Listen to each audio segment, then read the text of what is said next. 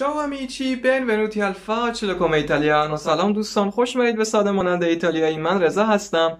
و خب توی این مدت مدیدی که با هم ایتالیایی یاد می‌گرفتیم خیلی چیزا بوده که من به صورت قاعده ای یادتون می‌دادم. خیلی چیزا بوده که خودتون یک جورایی به صورت خودخوان استخراج می‌کردید از توی مطالب. که قبلا هم گفتم روش مورد پسند خودم مقاله های راجبش ارائه کردم از دانشگاه مختلف که اثبات می‌کردم بهترین بازدهی و یادگیری رو به وجود میاره. حالا بحث ما این نیست. بحث ما اینه که یکی از این مطالبی که شما استخراج می‌کردید بحث زمایر ملکی تو زبان ایتالیایی بود. درست؟ میو تو و سو مال من مال تو مال او. و حالا این جلسه راجع به تدریس قاعده این مبحثه. یعنی شما به صورت حرفه‌ای قراره بشینید زمایر ملکی ایتالیایی رو یاد بگیرید. میشینیم جیک و پوک جزئیاتش در میاریم. در نهایت شما توی بخش کامنت ها سوالاتتون رو می‌پرسید و یک جمع‌بندی کلی می‌گیریم و والسلام. حالا اگه فکر می‌کنید این ویدیو براتون مفیده من که میگم صد در صد هست اما اگه خودتون فکر می‌کنید براتون مفیده همین الان دکمه لایک رو بزنید تا آخر ویدیو رو نگاه کنید و اگه subscribe نیستید دکمه subscribe هم بزنید که وای به حال من اگه هنوز subscribe نیست. بریم ویدیو رو شروع کنیم. حال منو خراب نکنیم. ببینیم دنیا دست کیه. خب تا الان می‌دونیم که زبان ایتالیایی هم مثل خیلی از زبانهای دیگه ضمایر فاعلی داره ضمایر مفعولی داره ضمایر ملکی هم داره. ضمایر فاعلی که کامل دیگه بلدیم الان راحتم io تو لوی لی نوی وای لورا زمایر مفعولی هم که یک ویدئوی کامل راجبش داشتیم یه بخش خیلی بزرگی ازش رو توضیح دادیم. فقط یک بخش کوچیک رو توضیح ندادیم که گفتیم تا الان فعلا به کار شما نمیاد اون بخش. در آینده حتما. حالا زمایر مالکی هم یک الگو دارن. دقیقا مثل زمایر فاعلی و زمایر مفعولی. الگوشون چیه؟ این. میو تو سو نوسترا واسترا لارا نیازی به دوباره تکرار کردنم هست. میو تو سو نوسترا واسترا لارا حالا خب میگه تموم شد دیگه اینم از الگوش می‌ذاریم پشت کلممون تمام نه. تفاوت زمایر ملکی با زمایر فاعلی مفعولی چیه؟ تفاوتش اینه که زمایر ملکی رفتار صفتگونه دارن. اگه دنبال کننده ویدیوهای من باشید می‌فهمید الان منظورم چیه. یعنی چی رفتار صفتگونه؟ یعنی اینکه باید پایان بندیشون عوض بشه. چجوری وابسته به اون کلمه که بهش میچسبن. شما صفت ها رو یاد گرفتین دیگه. چهار تا حالت عوض می‌شد. مذکر مفرد مؤنث مفرد مذکر جمع مؤنث جمع. پایان بندی ها بر این چهار تا حالت کلممون عوض می‌شد. شما رنگا رو از من یاد گرفتین دیگه. پایان بندی ها رو فهمیدین چجوری عوض میشه دیگه. اینم همونه. یعنی من میا دارم میا دارم میه, دا... میه ای دارم و میه. یعنی من توا دارم توا توای توه دارم سوا سوا سوای سوه نوسترا نوسترا نوستری نوستره vostro vostra vostri vostre و لورو هم تنها زمیر ملکیه که تغییر نمی‌کنه پایان بندیش. لورو خودشه. کار شما راحت میشه. حالا یک نکته این که شما از زمایر ملکی که استفاده می‌کنید همیشه بعد آرتیکل تو جیباتون باشه. چون استفاده از زمایر ملکی 99 درصد واجباتش هست گذاشتن آرتیکل. یعنی چی؟ یعنی میگم مثلا questo è il mio libro. Questo è این هست il mio libro این کتاب من هست خب حالا جنسیت رو مثلا عوض کنیم scrivo le tue parole. Scrivo می نویسم le tue parole. کلمات تو رو کلمات تو رو می نویسم خب leggo il suo libro کتاب او را می خوانم خب ببینید il ل خب.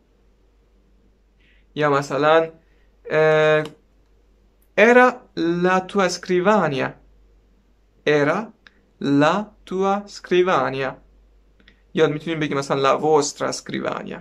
La nostra scrivania. مهم نیست.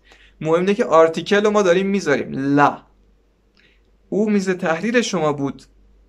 خب scrivania میز تحریر. میزی که برای نوشتن استفاده میشه. Era la tua scrivania? خب la داره میاد article داره میاد پس article دم دستتون داشته باشید بریم یک نکته دیگه ببینید سوو سوو با مال اون خب یا مال او جنسیت نداره توی زمایر فاعلی و یک سری از زمایر مفعولی یادتونه داشتیم دیگه مثلا لوی لی خب لو لا. جنسیت داشتن. مذکر مؤنث. اوی مذکر اوی مؤنث. حالا توی زمایر ملکی سوای ما جنسیت نداره. یعنی نه مذکری می‌خوایم نه مؤنث. اصلا به من ربطی نداره که اون کیه جنسیتش چیه. ایل سو زاینو کیف اون کوله پشتی اون. حالا اینکه اون طرف جنسیتش چیه؟ چی به من ربطی نداره. اصلا برام مهم نیست. تنها چیزی که برای من مهمه جنسیت اون کوله پشتیه. زاینو مذکر مفرد. اوکی. ایل. سو زاینو. تمام. من فقط و فقط و فقط و فقط به جنسیت اون کلمم نیاز دارم. که حالا اینجا زاینوه. فقط و فقط جنسیت اونو می‌خوام. برای اینکه بفهمم چجوری بعد پایان بندی سو رو بذارم. تموم. اینکه سو جنسیتش چیه به من ربطی نداره. تمام. خب؟ این چیزی بود که من خودم رو خیلی گیت می‌کرد اوایل کار که حالا با تمرین و تکرار. دستمون. لورو گفتیم عوض نمیشه پایان بندیش یعنی من میگم لا لورو سکریوانیا آره. Il loro tavolo. آره. Loro letti. تخت های اونها. آره. تغییری نداریم. فقط آرتیکل ما باید حواسمون بهش باشه. آرتیکلمون تغییر می‌کنه. به همین خب پس چی شد؟ زمار ملکی تغییر می‌کنه پایان بندیشون رفتار صفت گونه دارن. آرتیکل همیشه بیاد پشتش و حواسمون به جنسیت سوو باشه چون برامون اصلا مهم نیست جنسیتش. و لورامون هم تغییر نمی‌کنه. تموم شد. فقط یک چیز دیگه بگم. زمار مفعولی گفتم همیشه باید آرتیکل پشتشون باشه. درست؟ حتی شما اگه بخوای روش استفادهش هم تغییر بدی. مثلا میگی کوستوکانه. è il suo بازم il رو من دارم میارم. این سگ مال او هست. Questo cane è il suo il بازم من دارم میارمش. پس article بازم واجبه. کجا می‌تونیم نذاریمش؟ ببینید فضولی نکنید تو اون جایی که نمیشه مثلا بذاری نمیشه نذاری یا مثلا بشه نذاری اون article رو.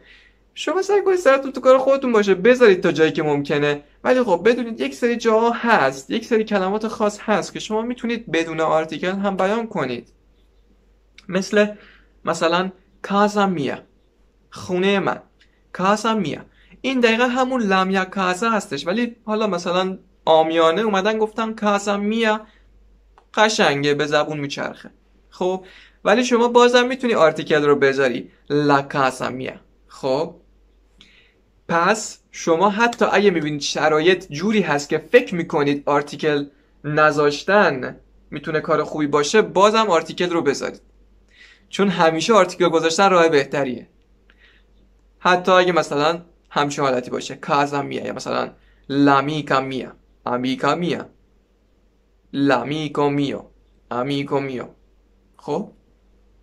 لامور میو امور میو همیشه آرتیکل گذاشتن راه بهتریه تو زبان ایتالیایی این چیزی که من از تجربه خیلی طولانی نیست ولی خب تقریبا دو سالم دارم بهتون میگم. آرتیکل گذاشتن همیشه بهترین راهه. همیشه دنبالش کنید. جلسه امام تموم شد. امیدوارم که براتون به شدت مفید واقع شده باشه. منتظر منتظر جلسات آقا امروز لکنت گرفتم. منتظر جلسات بهتر و بمبتر از اینم باشید. به خدای بزرگ میسپارمتون. شاد و پیروز سرزنده باشید.